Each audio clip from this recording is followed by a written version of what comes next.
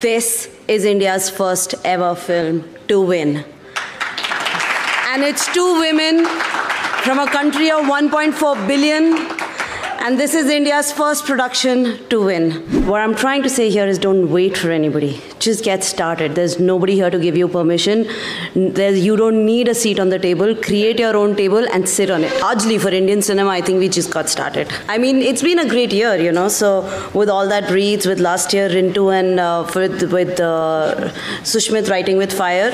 So Indian documentaries and of course now with Elephant Whisperers Shaunak with All That Breathes, I think we just got started. It's, it's a good run up. We share this with all the documentary filmmakers, the aspiring dreams of Indian filmmakers, and I'm sure, I hope that this empowers more filmmakers to go tell their stories.